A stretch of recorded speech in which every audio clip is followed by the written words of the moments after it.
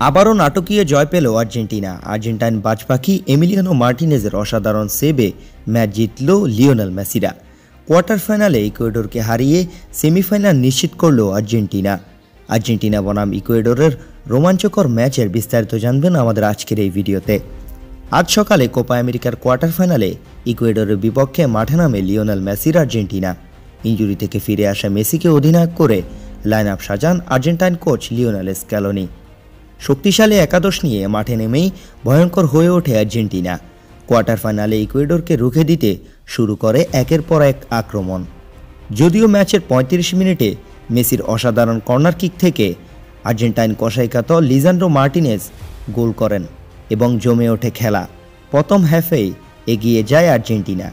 এদিকে প্রথম হাফ শেষে দ্বিতীয় হাফে মাঠে নামে আর্জেন্টিনা। যদিও ম্যাচের অতিরিক্ত সময়ে ইকুয়েডরের গোল জালে জড়ায় আর্জেন্টিনা এবং খেলায় ফেরে সমতা। সমতা নিয়ে ম্যাচ শেষ করে আর্জেন্টিনা এবং ম্যাচ গড়ায় টাইবেকারে টাইবেকারে এসেই যেন ভয়ঙ্কর হয়ে ওঠে আর্জেন্টাইন পাঁচ পাখি এমিলিয়ানো মার্টিনেজ।